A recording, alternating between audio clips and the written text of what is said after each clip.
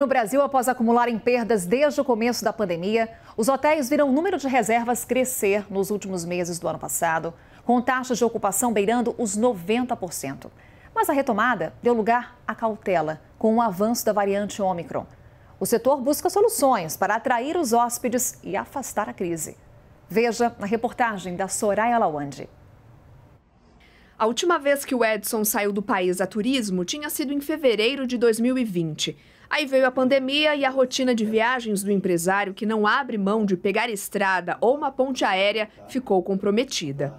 Só em novembro do ano passado que ele finalmente conseguiu viajar de novo.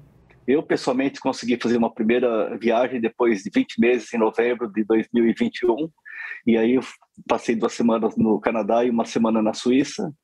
E foi, só depois uh, de toda essa pandemia e mais recentemente, em dezembro, por festas de confraternização, etc., eu estive no Rio de Janeiro por duas vezes. Para aproveitar o Réveillon, ele apostou num hotel cinco estrelas em São Paulo mesmo. Dez dias com todas as facilidades e desconectado do dia a dia de casa. Para as próximas duas semanas, ele já está planejando voltar para o hotel em São Paulo com os netos. Nem parece que está em São Paulo, porque você se isola de tudo, e, e, mesmo assim, por exemplo, se você tiver que ir para algum restaurante, então tem muitas opções próximas. Se você tiver que ir a um centro comercial, então tem alguns shoppings também nas imediações. O turismo de São Paulo, que é tipicamente de negócios, feiras, eventos e congressos, viu na pandemia uma mudança de perfil do hóspede, que agora procura destinos mais próximos e para viagens mais curtas. Aqui, desde outubro, a ocupação aos finais de semana tem aumentado de 10% a 15%.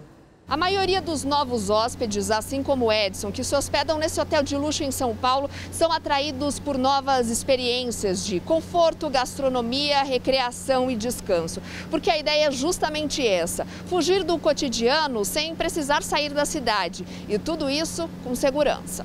Não significa que esse hotel se transformou num resort. Não, não é essa a característica. Mas a gente se adapta para atender o que essa nova demanda está procurando. O segmento de luxo conseguiu se sobressair tanto no mercado nacional como no internacional. A ocupação ficou em torno de 80% a 90% em dezembro, enquanto a expectativa era de atingir apenas 70%, de acordo com números preliminares da Associação Brasileira de Viagens de Luxo. Para o mês de janeiro, o setor já espera uma baixa, mas ainda assim acredita que o turismo doméstico continuará aquecido. 2021 foi um ano completamente atípico para nós.